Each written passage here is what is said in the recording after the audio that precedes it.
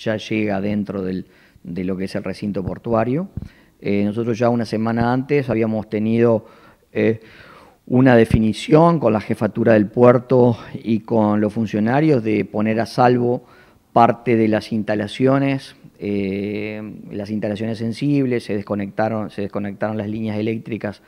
que van al muelle, se pusieron los equipos a resguardo y bueno, empezamos también a desalojar las oficinas, eso se cumplió ya la semana pasada, para dejar a resguardo, eh, digamos, las, las áreas más sensibles del puerto de Paysandú, que hoy está completamente inundado, empezó el fin de semana a ingresar agua por la alcantarilla de calle Presidente Viera y empezar, se empezó a inundar por calle Presidente Viera y hoy ya tenemos toda calle Presidente Viera inundada, mm, ya está llegando a, a, media cuadra, a la primera media cuadra de Avenida Brasil entre Avenida Brasil y Colonia. Lo que tenemos ahí no lo podemos usar y además que no lo podemos usar, el efecto importante que todo esto causa en otras familias, en la familia de Paysandú,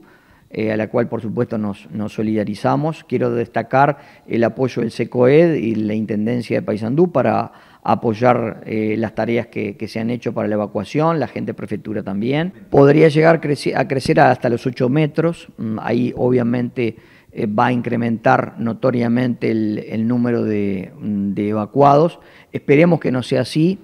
eh, pero bueno, mm, las condiciones del clima eh, pueden también ayudar a que, eso, a que eso no suceda. Sabemos que vivimos en una ciudad que está sujeta a estos vaivenes, lo que sí porque esto siempre es reiterado, siempre es un tema reiterado, es tomar las precauciones. Y las precauciones naturalmente son aquellas de decir, bueno, está debajo de la cota 7, por lo menos el río Uruguay, no puede vivir nadie, no puede alquilarse a nadie, no, puede, no pueden haber personas viviendo debajo de esa cota, por lo cual obviamente sabemos que es una responsabilidad como gobierno, hay una política de Estado en el Departamento de Paysandú en ese sentido, la Intendencia ha hecho un gran trabajo, está trabajando en los realojos, hay soluciones habitacionales, hay lotes con servicios que también se van a poner a disposición,